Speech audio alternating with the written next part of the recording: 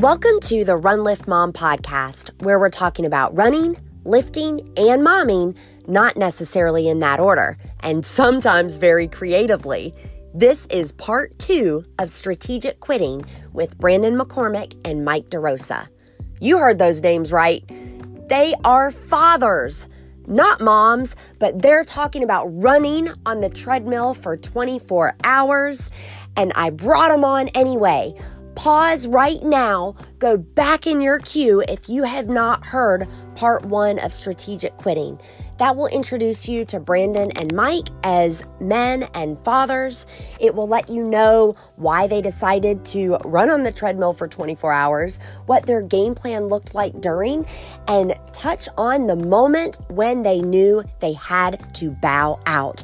We're picking it up from here and talking about that aftermath and talking about what they do with this moving forward.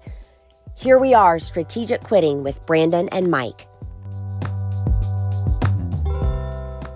I love so what I hear you saying is the quit was a strategic move within a bigger picture of achieving this goal, which story is still being written. Absolutely. Exactly. Exactly. Wow. Wow. So, okay, so you you say, okay, I'm, we're going to do 100 miles. We're hype. We're excited. It's feeling like you're going to do it. um, so when you called it, did like when you said, "Hey, not you know our strategic move. Um, we need to stop here if this is ever going to be a thing." Um, did you feel like your ego took a hit? Like, what did it feel like to have to tell others, "Yeah, we didn't make it"? um, for me, um, honestly, uh, like I said, I w- I'm not afraid to fail. Um, I put that number out there um, because everybody was like, "Is there a goal?" That's you know, we got that question. We're leading up to it when you at when you know we asking these folks and telling them about it, what we're doing. Um, they get you know, is there a goal? Yes, it's a hundred mile goal. Um, you know, um, just yeah. I mean, in a way, yeah. You're like, ah, you know, you know, I didn't get it, but at the same time, it's like that's the most I accomplished something I've never accomplished before myself. Um, I've never ran no more than a, a full marathon. I want you know, so that's wild. You too, Mike. Twenty six. That's correct. Yeah, I mean, we, we went into this just being marathon runners and uh, just loving yeah. to be, you know, in the outdoors, being fit and running. So, granted, we didn't reach our hundred mile goal that Brandon set for us, and um, but we still achieved a new goal within ourselves. Running 65 miles in one day is still kind of insane when you think about it, even though we're disappointed. At the same time, we're happy for each other as well.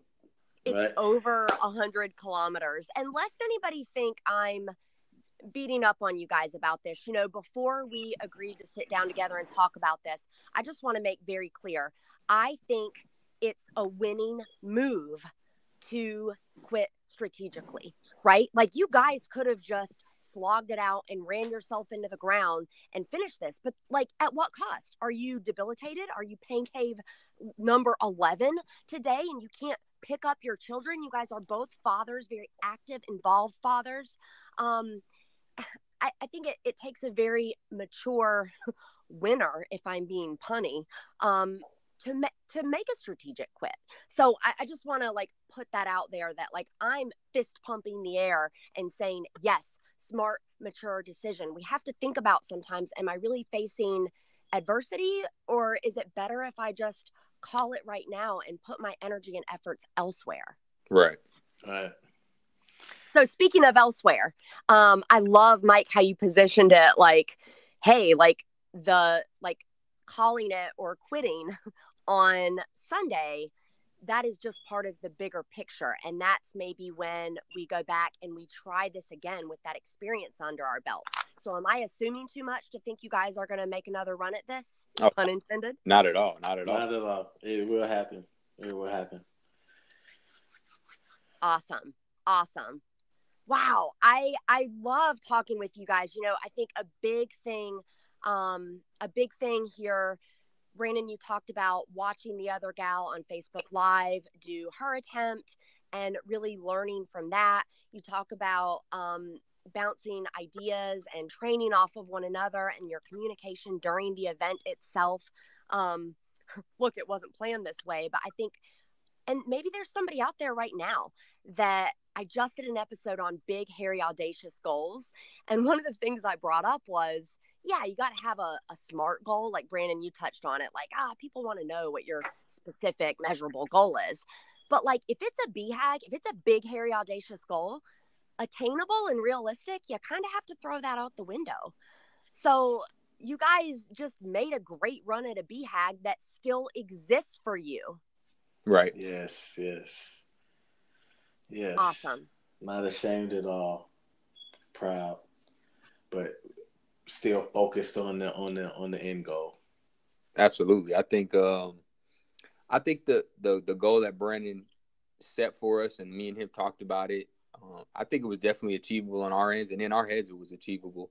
Um, just like you know, just like Brandon stated, though, there was just just some things that we kind of we were kind of just testing the waters and just kind of winging a few ideas that we both threw at each other and and just went with it. So now we can kind of go back to the drawing board, adjust what we think will work, get some advice from people like you, Susie, and, and just kind of um, do our own research and say, all right, let's let's do another run at it. And we hope to reach our hundred mile goal, and then in the future go for the Guinness Guinness record go together.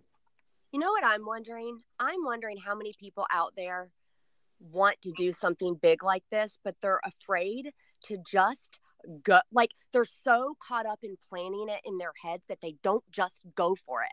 Do you have you guys always been like this? You just go for stuff that you want to achieve. I, Brandon, I think we have. I mean, yeah, I pretty much have. Uh, um, it's been a lot of going for things with uh, just between the two of us. Um, you know, um, we've been going for a lot lately. Um, uh, we will be running uh, Berlin Marathon together uh, in 2019 in September this September, year. September, baby, this September. Um, you know, so uh, yeah, we uh, it's just amazing. If you notice, Mike keeps saying that uh, I set this goal. um, I don't know if you guys were listening to hear that, but uh, yeah, I, you know that's I, uh, you know I thank him for you know what I'm saying to for uh, uh, going through that, uh, putting his body through that too as well. Um, you know, just to just to be there with me and experience that too. Um, so I, you know, I want to, I want, he, I, I noticed he kept saying that, so I want to point that out to y'all, let y'all know. You know, I, I thank Mike for that too, though. Um, you know, because he could have stopped at any time as well. Um, but um, yeah, it, it was it was it was love to have him beside me the whole time. You know, I think I think it's important. Uh, and Brandon knows this, but it's important, Susie, for the listeners that you always got to have something that motivates you to and you know give you determination i think that's anything that you do but especially when you're you're doing something in the fitness community um, and you're constantly doing challenges like me and brandon um, other than like your kids and your family you got to have somebody next to you and 100% brandon motivates me i know that you know at, at moments i think the hardest the hardest part of doing anything is your brain right because that's what's triggering you to stop doing things sometimes. And um, when you have someone next to you that you know is going to keep pushing you or is just going to keep pushing regardless, uh, especially because I know Brandon's background, um, I wouldn't want anybody else next to him. Aw. Oh, you guys, it's a love fest in here. You guys are, are boys. I love it. Well, I want to congratulate you on, first of all, running – more than twice the distance you you had previous on running 65 miles bringing about a great awareness to our community for Team for Kids and just being active and staying fit. I live in your community, and so I can say to everyone, these guys are incredible role models in just the health and wellness kind of industry in our community and just in our community in general. Guys, I cannot believe you already have two endurance events on your 2019 calendar when you're at a number six on the pain scale. I love it. I love it. And I bet you thought you never thought you would be on a mom podcast. That's correct. Right, right, right. Thank you. Thank you. Thank, thank you for having it. Yes.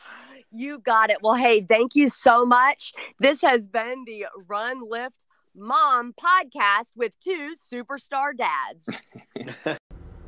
Hey, Run Lift Mom listeners, you know I'm the mom of four kids under age five, and therefore I am always looking for ways to work smart, not hard. Anchor is the smartest way to make a podcast. Let me tell you why. First of all, there are creation tools that allow you to record and edit your podcast right from your phone or computer. But Anchor will also distribute your podcast for you. So then it can be heard on places like Spotify, Apple Podcast, and a whole lot more. You can make money from your podcast with no minimum listenership. It is quite literally everything you need all in one place. And y'all, it's free. So download the free Anchor app or go to anchor.fm to get started.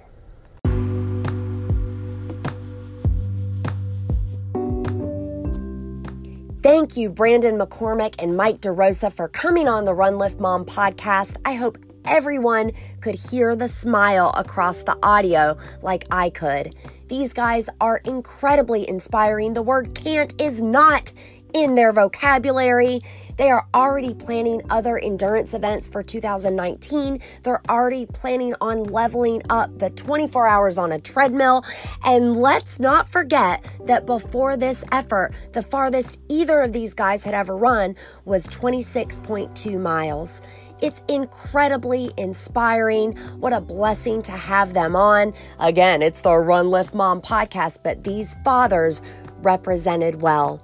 The work they did and the awareness that they're doing for Team for Kids through this should also not go unrecognized. And if you are interested in learning more about strategic quitting, so realizing the difference between adversity and maybe you know, gracefully bowing out so you can put your energy elsewhere where it might be better spent. I highly recommend that you read the book The Dip by Seth Godin. It will take you no more than two hours, even if you're slow, and it really digs into this topic and helps you think about that personal decision should you have to make it in the future. You could also learn a lot by reflecting on a time that you might have felt like that. Until I get into your earpiece again, remember, for while bodily training is of some value, godliness is of value in every way, as it holds promise for the present life and also for the life to come. That's from 1 Timothy 4 8, and this has been the Run Lift Mom podcast. Did you enjoy this? Y'all, I am just getting started. You can do me a solid by subscribing, leaving a review, or find me on Instagram or Facebook using the hashtag RunLiftMom and let me know how I can make this better.